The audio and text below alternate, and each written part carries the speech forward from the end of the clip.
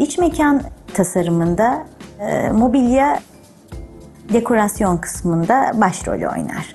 E, mobilyalar e, çok şık olabilir ama doğru malzemelerle kombinlenerek kullanılırsa kendilerini düzgün ifade ederler ve doğru mekanda kullanılmak şartıyla kendilerini düzgün ifade ederler.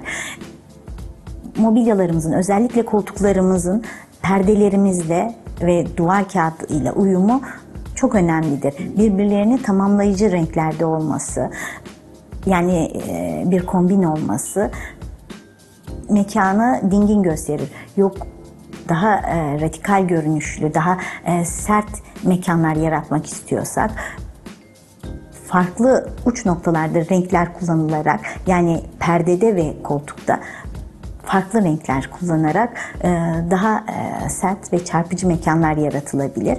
E, ama aslında doğrusu kombinlemektir.